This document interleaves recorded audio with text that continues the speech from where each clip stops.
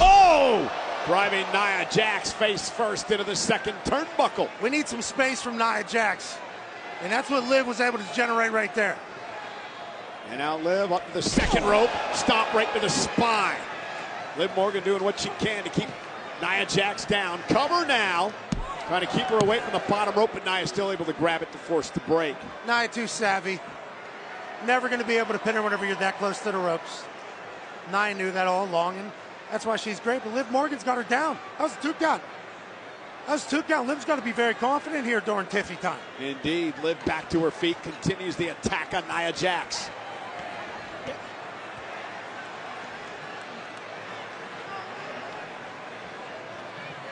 Oh!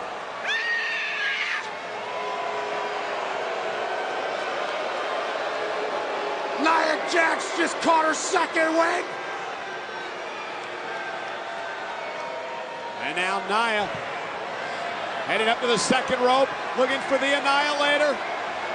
Which it does. Liv back to her feet as well. And look at Liv, great move there, great strategy. She has no balance up there. No way, there's no, No way. way. no way. She did it! Liv Morgan did it! Stacks up Jax, who kicks out at two. That was pretty incredible by Morgan. Liv Morgan just power bombed Nia Jax.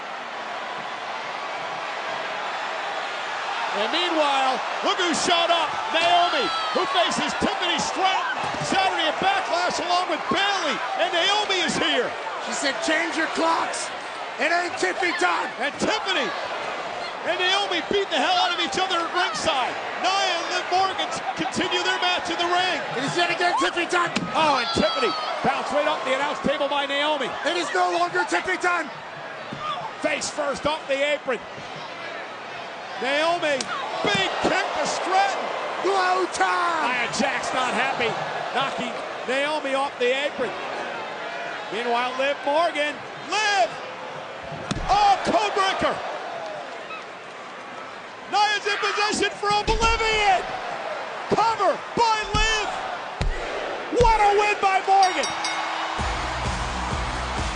Here is your winner, Liv Morgan!